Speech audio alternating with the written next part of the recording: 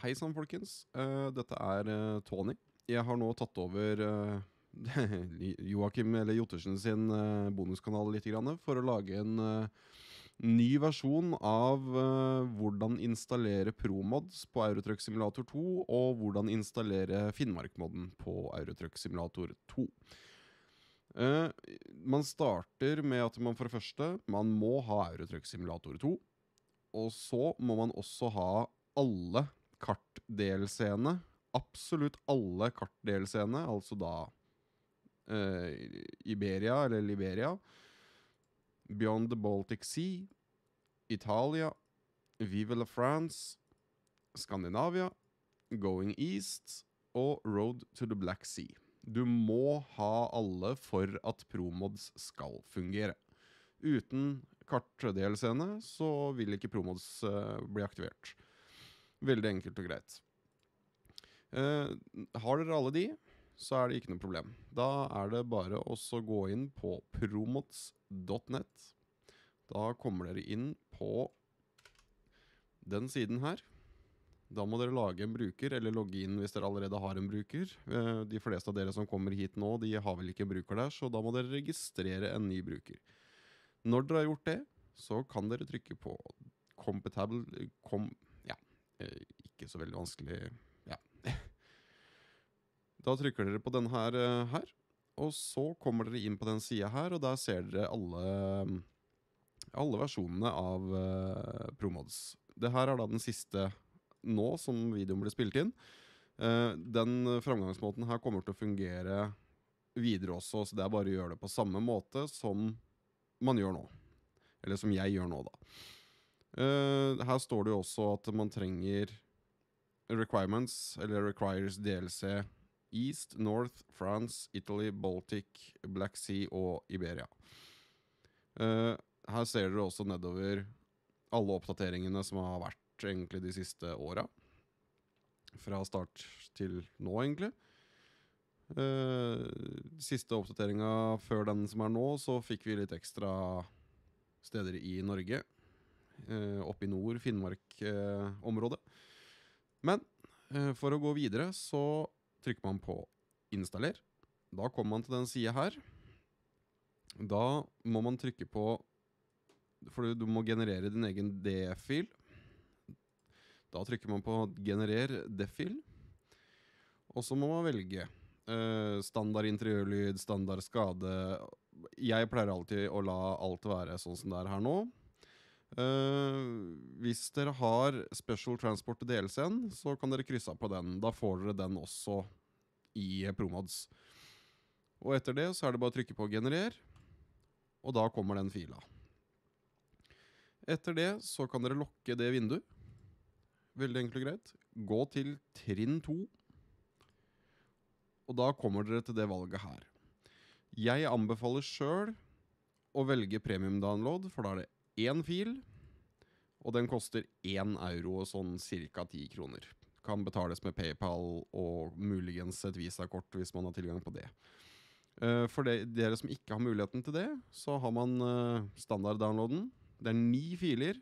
Maks 300 kB i sekundet. Og maks to samtidige nedlastinger. Altså det er kun mulig å laste ned to om gangen. Prøver dere på flere, så blir dere sperra ute fra sida. Jeg har da allerede gjort det her nå, men jeg skal vise dere hvordan det ser ut. Her ser dere alle filene som skal lastes ned. Den siste her, den, den trenger dere ikke å tenke på. Når dere skal laste ned, så dere, trykker dere bare på én. Sånn. Og da kommer det opp, og da kommer den til å laste, begynne å laste ned etter hvert. Og det må dere gjøre med to og to. Altså først, de to første må bli ferdig før dere starter på to nye. Og når det har blitt gjort, så kommer de nedpå linja her. Og lagrer seg da selvfølgelig i nedlastingsmappa. Her ser dere alle de filene. Det er de filene dere skal ha for å få promods. Har dere alle filene, med andre ord 16 filer, så har dere alle de dere trenger der. DF-fila den skal dere ikke bry dere om helt enda. Men Promods V2 647Z001 er den dere skal tenke på. Dere må ha WinRAR for å kunne bruke den her. Og den kan dere laste ned på rarlab.com. Ikke winrar.com. Da går dere på rarlab.com, og så velger dere Skal vi se Må bare finne riktig her. Der. Da velger dere downloads der. Og så velger dere det er bare den øverste. Det er den som fungerer. Og da legger dere inn den som et vanlig program. Når det er gjort, så får dere muligheten til å høyreklikke på den. Extract to promods bla, bla, bla. Og da tar det litt i tid. Så ender dere opp med å få en mappe, sånn som den her, der alle filene kommer til å bli samla. hvis jeg ikke husker helt feil, men det ser vi nå om ikke så altfor lenge. I mellomtida så kan vi jo faktisk eh, ta en liten titt på Finnmark-modden, som også veldig mange spør etter. For at det er veldig mange av dere som kommenterer på videoene til Joakim eller til Jotersen, og på Discord spør hvordan dere kan kjøre i hele Norge. Da kan vi underskrive på at det er ikke hele Norge, men det er store deler av Norge. Eh, Finnmark-modden den er med på å, å få litt flere steder på kartet. Veldig enkelt og greit. Jeg eh, kommer til å legge linkene til det her eh, på videoen, sånn at dere ser hvor dere skal gå hen. I verste fall så går det an å bare søke Finnmarkmod ETS2. Veldig enkelt og greit. Eh, da blar dere nedover til dere ser download-link. Da er det en Dropbox. Den kan dere bare X ut. Og så kan dere høyre Nei. Ja. Høyreklikke på den. Der. Nei. Sånn. Da kan dere bare trykke på 'last ned'. Og da blir den også lasta ned. Det er ikke en stor fil, så den går relativt fort. Da er også Promods ferdig. Og da ser dere den mappa her. Den er ny. Da har dere alle filene dere trenger. Readme kan dere slette. Og så, når dere har fått den, så pleier jeg å anbefale å ta Promods DEF ST V264-fila. Dra den inn i Promods-mappa, for de skal også uansett flyttes. Her har dere, når dere dobbeltklikker på Finnmark-modden, så får dere opp den fila. Det er selve Finnmark-modden. Den kan dere også bare ta tak og dra inn i Promods-mappa. Og så kan dere lokke den. Da skal dere sitte med åtte filer i Promods-mappa. De skal da legges inn i mod-mappa til uh, Eurotruck Simulator. Og den ligger som regel da på dokumenter. Eurotruck Simulator, mod. Og her ser dere jo, jeg har jo alle de har jeg allerede liggende her. Så dem ligger der. Skal vi se, da var det Finnmarkmåten. Så der har jeg alle ni filene.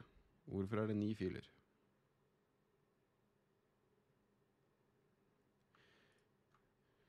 Sånn. Da ble det riktig. Så da har jeg åtte filer. Etter at det har blitt lagt inn her, så er det egentlig bare å lokke den, lokke den, lokke den og lokke den. Eh, Dere velger jo det selvfølgelig sjøl.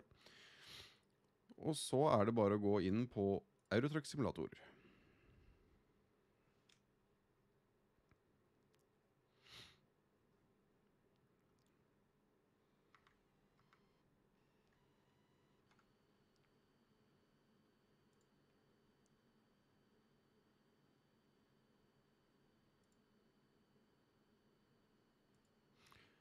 Sånn, da er vi inne på Eurotruck Simulator. Her har jeg litt forskjellige brukere. Blant annet Ottersen sin, eller Jottersen som han heter nå, igjen. Og da går man inn på mods, eller på mod eh, manager, eller hva det, hva det sto. Modifikasjonsoversikt, i hvert fall. Her ser dere, jeg har jo en god del mods fra før av. Men det viktigste er det som ligger på bunnen.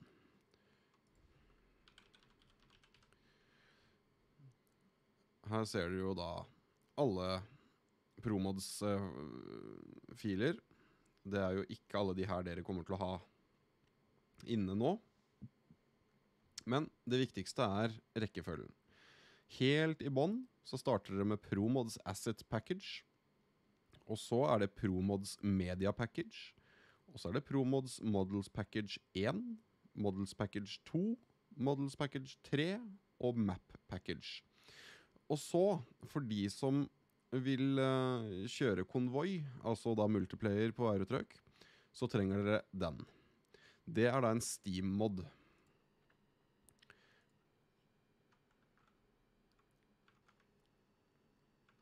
Ja, nå fikk ikke dere sett den, selvfølgelig. Men det er en Steam-mod som dere bare må laste ned på workshopen på Steam. Og den heter Promods 263 Convoy Mode Support. Den skal dere ha istedenfor den uh, definition packagen som ligger her. Det er den DEF-fila. Dere ser jeg har ikke den aktivert fordi at jeg har Convoy Mode aktivert. De to skal ligge på samme sted ettersom hvilken av, dere, hvilken av de dere vil bruke. Og så har dere da Finnmarkmoden. Legger dere rett over. Og da har dere alle de på plass. Og for de som lurer, det er den Scaniaen som uh, folk spør mest etter. Den ligger da også på discorden. Og når man har gjort det, så er det bare å ta seg en tur inn i spillet. Så skal dere få se hvilke nye steder som har uh, kommet på kartet.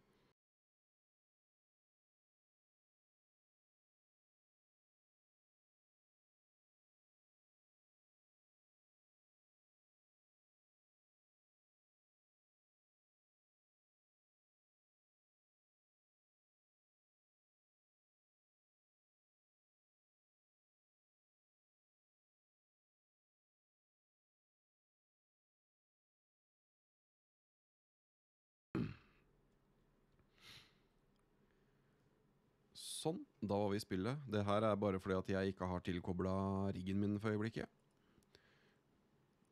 Og da er det bare å trykke på verdenskart. Og her ser dere jo litt mer. Nå har det jo kommet litt mer her også. Molde-området og det området der. Og så har du Finnmark-modden som går her, blant annet. Så da går det fra Mo i Rana og hele veien oppover i Finnmark så er det faktisk mest i Norge, vil jo jeg si, da. Så der har man jo hele det området her også. Promods vil jo også gi en del i både Sverige, Finland, uh, sikkert Russland også, jeg er litt usikker på det, og en del andre land nedover. Så Pluss at dere får også Røykjavik, Torshavn Ja. Så da har dere også Longyearbyen her oppe. Så der har dere da kartet. Da ser dere hvor mange ekstra Eller det er ikke sikkert dere ser hvor mange ekstra steder det er, men jeg kan garantere at det er ganske mange ekstra steder. Så derfor så uh, tenker jeg det at uh, det er vel egentlig greit. Så da er det egentlig bare å tute og kjøre.